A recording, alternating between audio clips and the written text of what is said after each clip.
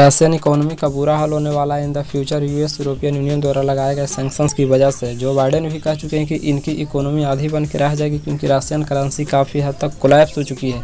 Russia export नहीं कर पाएगा यूरोपियन यूनियन और मेजर वर्ल्ड मार्केट को, जिससे इनकी इकोनॉमी आधी हो जाएगी। अगर इंटरनेशनल स्टैंडिंग की बात करें तो इनकी जो दुनिया की टॉप ट्वेंटी इकोनॉमिक कंट्रीज़ हैं, वहाँ पर अपनी रैंकिंग खो देगा और फिर रशिया को बाई डिफ़ॉल्ट जी से भी कट कर दिया जाएगा।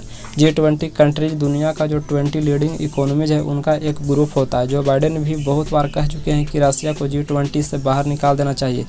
और अगर जैसे ही इनकी इकोनॉमी फॉल करती है तो इनको वजह भी मिल जाएगी कि देखिए रसिया वैसे भी डिजर्व नहीं करता जी ट्वेंटी में बने रहना।